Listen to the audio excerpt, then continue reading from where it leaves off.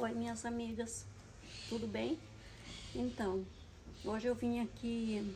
Hoje eu não vim falar de coisas boas, eu vim hoje dar um, uma satisfação do meu sumiço, né, do YouTube. Esses dias todos eu não consegui gravar vídeo. Eu essa semana eu passei por uns momentos muito difíceis.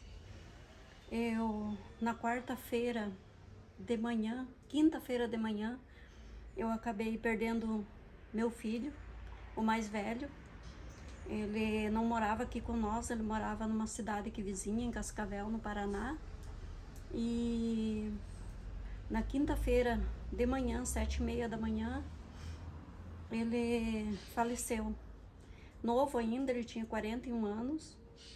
Ele era um policial civil e ele vinha um tempo se tratando de, de depressão e no final ele não estava mais conseguindo manter o tratamento, ele, ele não estava nem tomando os remédios mais, porque vocês sabem que muitas vezes os policiais, tanto qualquer área civil, né, qualquer, qualquer área de, de é, da, da polícia, né, tanto a militar quanto a civil, a rodoviária, eles passam por muitos momentos de tensão e no caso dele não era diferente.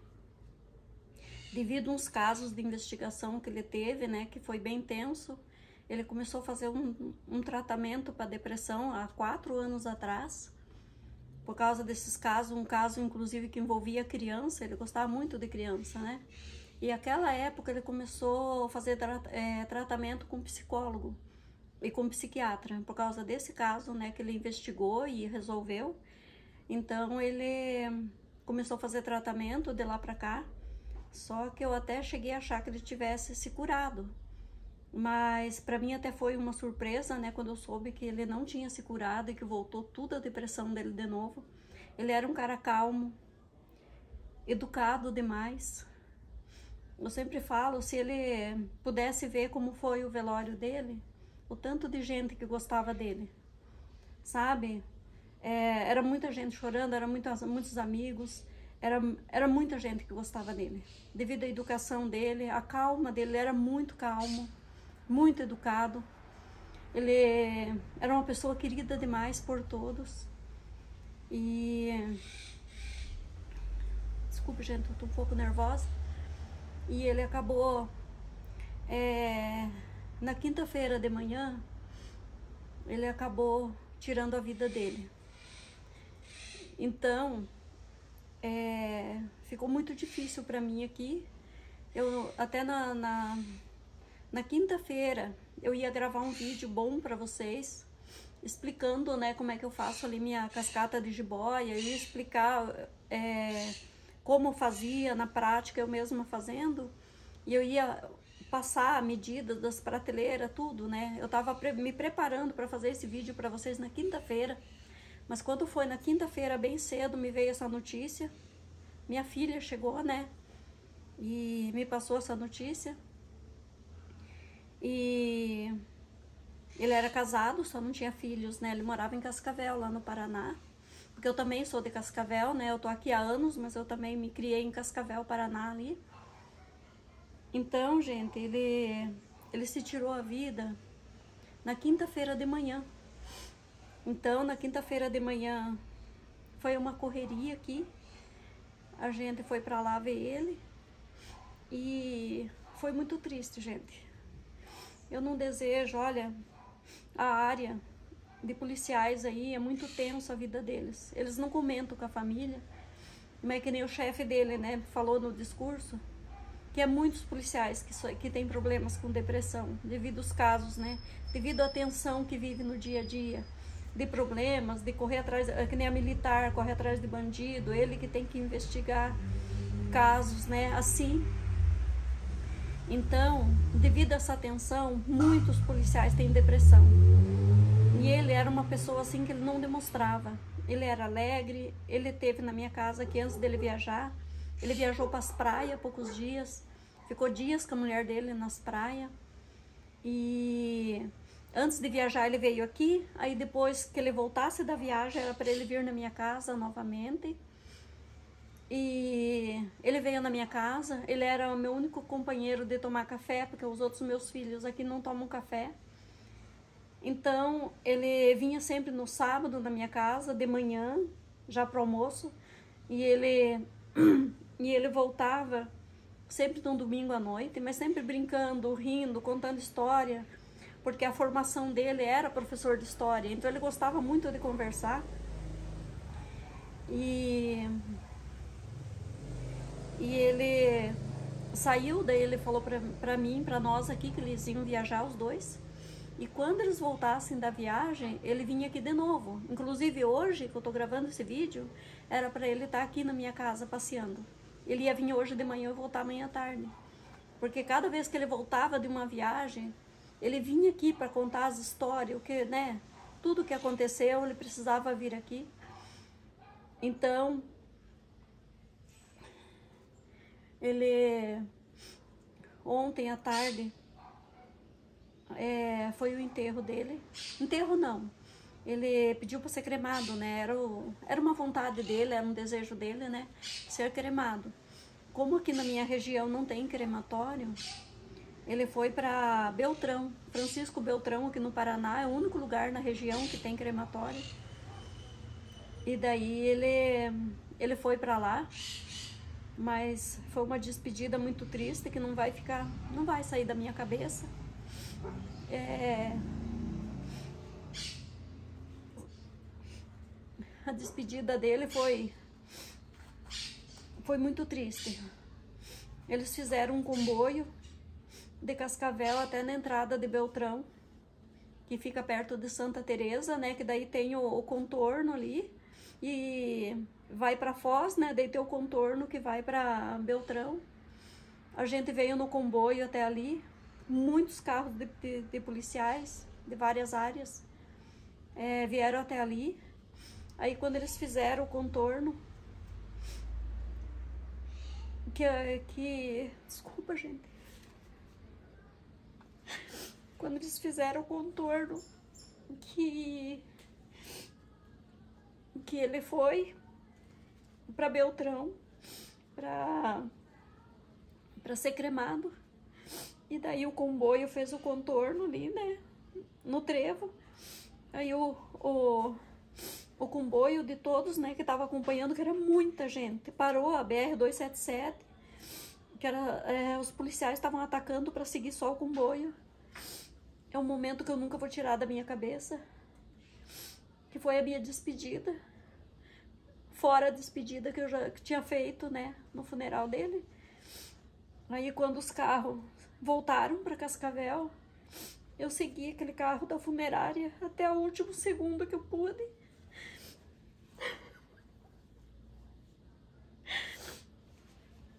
Porque eu sei que ele tava lá, sozinho. Não tô conseguindo falar.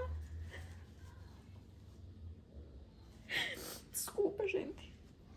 Mas foi muito difícil para mim esses dias. Eu acredito que vocês não souberam. Mas foi um, olha, o dia mais difícil da minha vida. Eu não imaginei que eu fosse passar por isso. E eu sempre falava que eu queria, com certeza, toda mãe quer ser enterrada primeiro que os filhos, né? E eu sempre falava que eu não queria ver um filho meu no caixão, mas não, sabe, não foi isso que aconteceu. Deus sabe o que faz.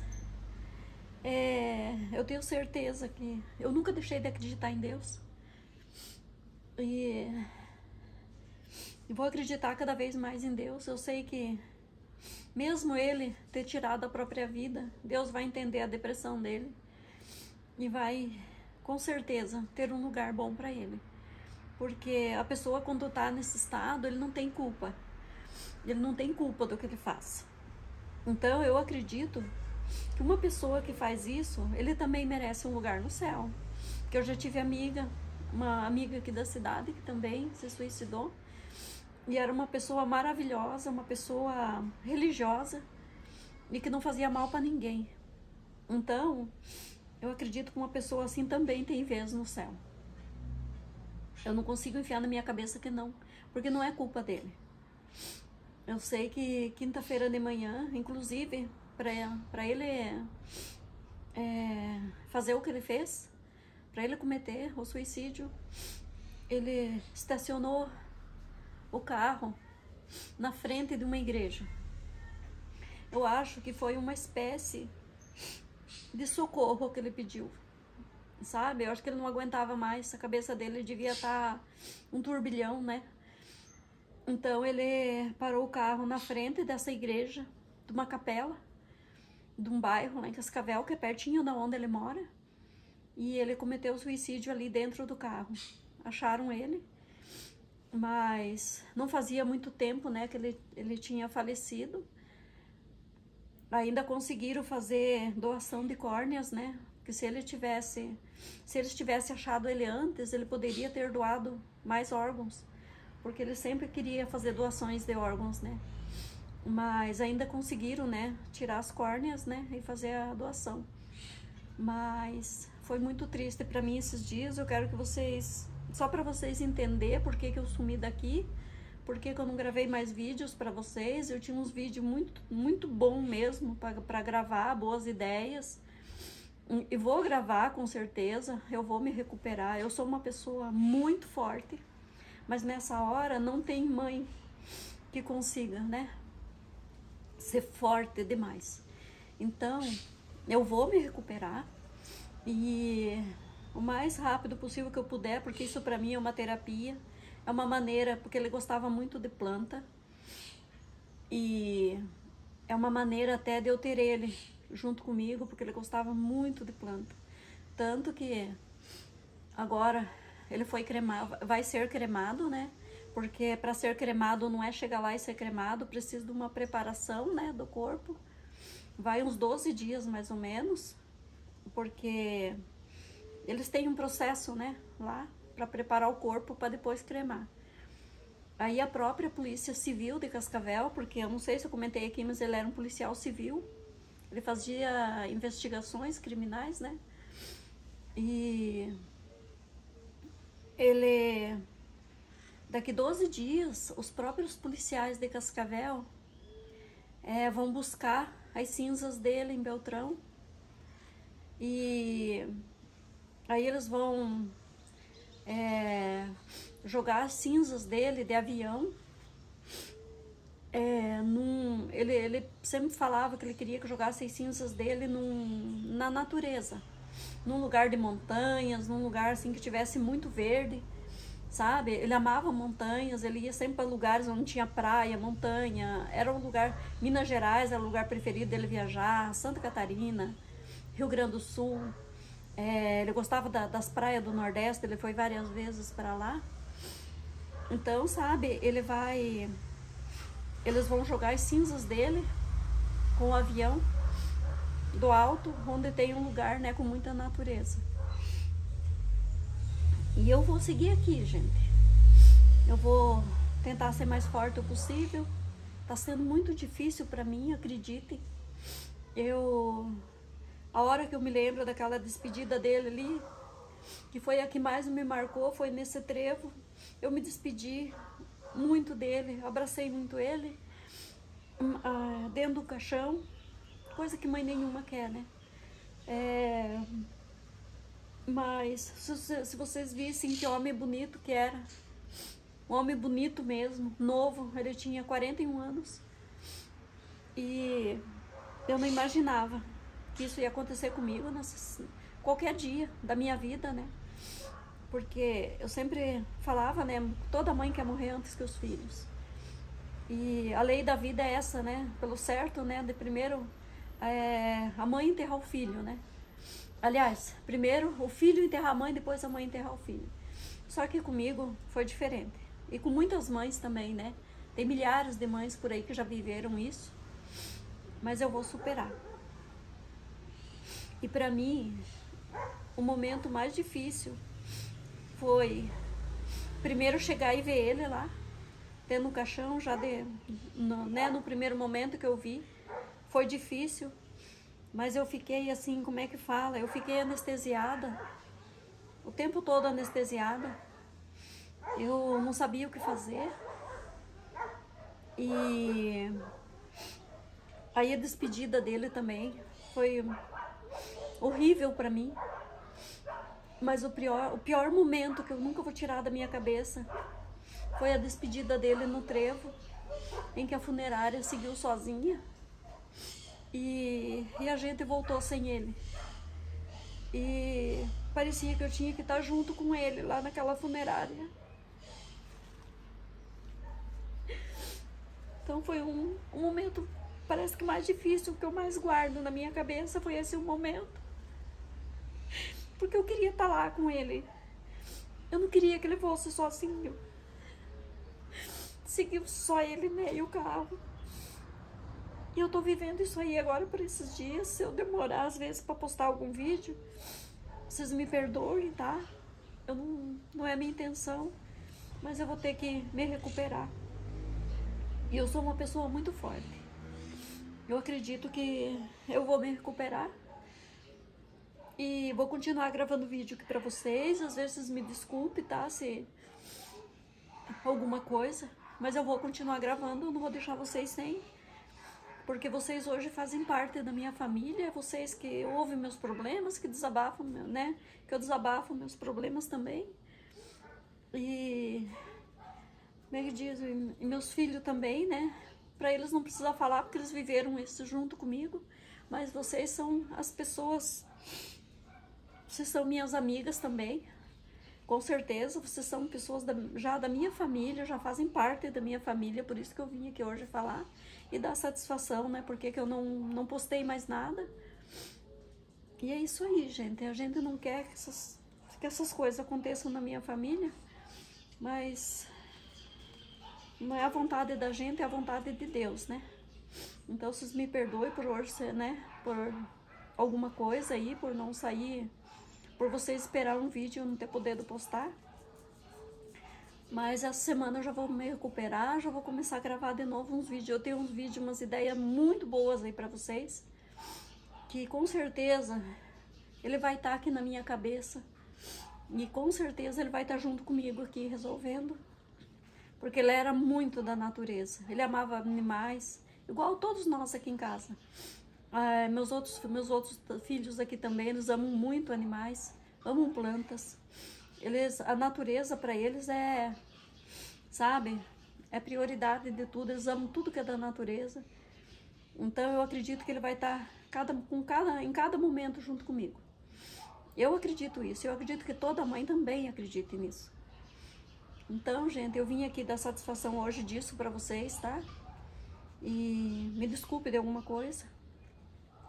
Para quem está entrando agora no canal, eu quero agradecer muito por estar tá no meu canal. Tem muita gente entrando, muita gente mesmo. Inclusive na noite, no velório dele, eu eu tava na cozinha fazendo um lanche, porque eu tava todo mundo fraco sem comer. Aí fizeram comida lá, fizeram um lanchinho, eu tive que ir lá comer um, tomar um café com umas bolachas. E eu olhei no, no meu YouTube na noite que ele estava sendo velado, eu até chorei porque completou 4 mil, bem naquela noite. E eu agradeço a cada um de vocês de coração, cada amigo meu que está entrando, cada pessoa que está ali vendo meus vídeos, que estão muito bem visualizados. E, e que continue aqui comigo, que eu tenho muita coisa linda ainda para mostrar para frente. Muitas ótimas ideias aí para vocês, tá? E muita coisa nova. Inclusive, eu ganhei planta no dia que eu ia postar o vídeo, que eu ia gravar, eu ia mostrar umas plantas que eu tinha ganhado de uma amiga uns dias, um dia antes. E não pude mostrar, mas não vai faltar oportunidade para frente, né, para mim mostrar para vocês o que eu o que eu ganhei, o que, né? E minhas ideias que eu tenho aí para vocês. Com certeza vai vir muita ideia maravilhosa, tá? Então vocês me perdoem por não ter podido mesmo, né? É, esses dias postar nada, porque foi o motivo foi isso aí, tá? Como vocês já fazem parte da minha família, eu vim aqui dar satisfação de tudo isso e para vocês saber o que está acontecendo comigo também, tá? E fiquem todos com Deus, que eu, que eu quero ficar com Ele também, que nessa hora eu tô precisando muito de Deus. Eu tô precisando muito do apoio dele. Meus filhos são maravilhosos, uma educação fora do comum. E com ele era a mesma coisa. Ele nunca ergueu a voz para mim. Ele sempre foi a pessoa mais calma do mundo. Então, acho que por isso a depressão dele, pela educação, né, que ele sempre teve, e ver tanta tragédia que os policiais veem. Então, não era praticamente o mundo dele, né? Então, gente, é isso. E o pessoal que tá entrando aí, ó, me perdoe por enquanto, mas vai vir muita coisa boa para vocês verem, tá? Hoje é, o, o vídeo não foi de plantas, é, não foi de decoração, mas com certeza é, por esses dias eu já vou começar de novo, porque eu vou ter que fazer, eu não vou ter como ficar trancada. Eu tenho que fazer alguma coisa para me distrair, para passar meu tempo, que é o que eu gosto, mexer com plantas, mexer com, com decoração, fazer coisas e passar o melhor para vocês. Eu eu não vou ficar enfiando as coisas na minha cabeça, porque eu tenho certeza que não é isso que ele queria. Então, é isso. Lá por segunda-feira eu já vou postar um vídeo da ensinando na prática como eu como fazer a minha cascata de jiboia ali. E pensa num, num vídeo lindo que vai ser. Então não percam, porque eu vou postar ali ensinando para vocês como que eu faço. Eu vou dar medidas tudo, medida de vaso, medida de das prateleiras, vai ficar muito top o vídeo. Fiquem aí, por aí atentos, tá? Que eu vou postar com certeza. Porque ele tava feliz que eu tava no YouTube também. Porque ele sabe, né, que eu tinha com quem conversar. Então, porque ele sabe que eu perdi uma amiga importante, né, o ano passado. E por isso que eu abri o YouTube, um canal aqui. Porque ele sabia que tava difícil para mim ficar sem essa amiga. Eu falei para ela, para ele, eu falei assim, olha, eu perdi uma amiga e ganhei mil, né? Um, uns mil aí mais, né? Uns três mil e pouco. É, o dia que eu, que eu completei três mil amigos, né? Então eu até agradeci vocês, ele viu o vídeo lá. Então ele estava feliz por eu ter encontrado, né? Muitas amizades para mim, para mim ter com quem conversar. Então é isso, gente. Me desculpem se eu não conseguir aqui falar, tô, tá sendo difícil para mim falar, muito difícil. E eu espero que vocês fiquem todos com Deus. E segunda-feira eu já volto a gravar vídeo para vocês, tá? Então, é isso aí que eu tenho. Eu vim dar satisfação para vocês porque vocês são tudo umas pessoas maravilhosas que merecem satisfação. Eu queria estar tá agradecendo cada um de vocês que comentam. Ah, e eu tô com muitos comentários para responder, muitos mesmo. Eu vou fazer um pouquinho por dia porque acumulou bastante, eu não pude responder ainda. As pessoas que eu não respondi, que me perdoem, porque num caso desse não tem nem cabeça, né, pra gente responder. E, e tem muito comentário, muito mesmo. Mas eu vou tentando aos pouquinhos, eu já vou ir começando hoje ou amanhã, já respondendo todo mundo. Me perdoe aí, tá? E, mas eu vou responder cada um de vocês, tá bom? Fiquem todos com Deus e um beijo para todo mundo.